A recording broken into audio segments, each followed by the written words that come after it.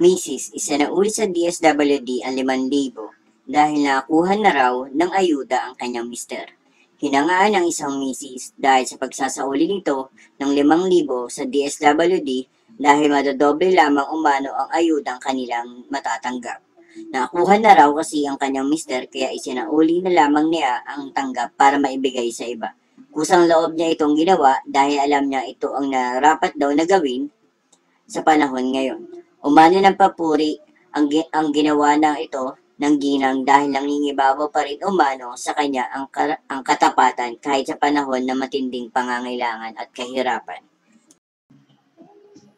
Katwiran ni Wendy, nakatanggap na umano ang kanyang mister sa kabilang barangay ng ayuda bilang bahagi ng Social Amelioration Program ng pamahalaan kaya may nabuti niyang ibalik ang kanyang nakuha. Naisip niya kasi na doble na ang para sa kanilang pamilya. Kaya may nabuti niyang ibalik ang pera para na rin mabigyan pa ng iba. Marami ang bumilib sa katapatan ni Wendy dahil sa kabila ng matinding krisis. Nakita pa rin sa kanya ang katapatan sa kabila ng matinding pangangailangan.